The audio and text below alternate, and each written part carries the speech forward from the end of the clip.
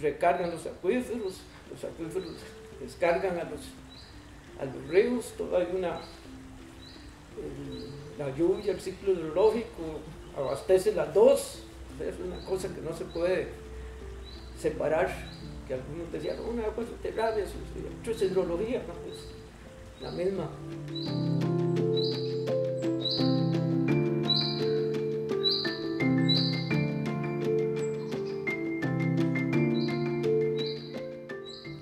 ¿Cómo me defino yo? Principalmente tal vez un educador. Eh, siempre me ha gustado enseñar lo que sé. Mira, yo me crié en, en el Paseo de los Estudiantes, cerca de la Plaza González Víquez. Fui al Liceo Costa Rica, jugábamos fútbol en las calles. Ese tiempo no había mucho carro, huelgas de, de carajillos, los pleitos de costumbre, este, cerca de los mercaditos. Ahí jugábamos también en una plaza que ahora hay un parquecito, pero antes era una plaza, jugábamos bolinchas y trompos. Estamos hablando ya, qué sé yo, hace 60 años, bueno, tengo 70, digamos, que andaba de 10 ya en esas cosas. Hola, esa es mi nieta. Una de las nietas que, que ¿cómo se llama? Estando en quinto año, me fui con una beca del American Field Service a un año a Estados Unidos, cumplí los, los 16 años allá con una familia gringa que le decíamos. Estuve un, un año, entonces me gradué allá de, de high school y vine de nuevo al Liceo Costa Rica al siguiente año, a mitad del año, a terminar a terminar el quinto año, a sacar el bachillerato. El bachillerato aquí, esa fue mi primera separación larga, digamos, de un año, a los 16 años de mi familia. En ese momento se abrió la escuela, la escuela de geología, todavía no era escuela centroamericana, y un par de compañeros ahí que estábamos estudiando, estábamos en las, en las generales, y teníamos que, pero sí, orientados hacia las ingenierías, no sabíamos, mira, están abriendo esta, vamos a sumarnos a ver qué es. Y ahí algunos profesores, don César Dondel y eso, me vea, ya vimos rocas y la minería y que, y que el agua, y, qué bonito, y la aventura, y la, estar en el, en el campo y los ríos, tenían fotos y fósiles de probemos. Entonces comenzamos, fuimos el, el, primer grupo de la escuela de la escuela de geología. En tercer o cuarto año se hizo un proyecto aquí de las Naciones Unidas, aguas subterráneas en tres áreas seleccionadas, Acuasub se llamaba.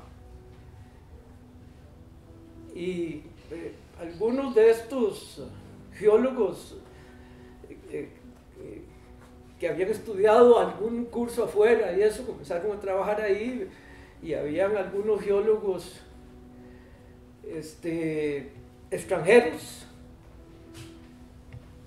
y parte del programa era crear un, un, grupo aquí en el manejo de aguas subterráneas que casi no se no había en el, en el país. Se hacían pozos excavados y el, Ministerio de Salud tenía una máquina pequeña, pero muy, este, sin, sin ninguna cuestión muy técnica, era muy, muy artesanal la, y comenzó con este programa a estudiarse tres áreas seleccionadas y nosotros entramos como asistentes. Al final parte del programa este de las Naciones Unidas era conseguir unas becas, una beca para ir a hacer una maestría o estudiar, como se llama, aguas subterráneas en el extranjero. Y parte del compromiso de nosotros con la beca, porque nos daban parte del, del sueldo mientras estábamos allá, era, teníamos que trabajar con esa institución no me acuerdo, eran como cinco años o algo así. Entonces ya eso pasó al Estado, se, se llamó CENAS, Servicio Nacional de Aguas Subterráneas. Y bueno, y a la vez, en la Escuela Centroamericana de Geología, que en ese momento yo creo que ya en un congreso geológico ya se formó la Escuela Centroamericana de Geología, me pidieron que diera unas clases de aguas subterráneas.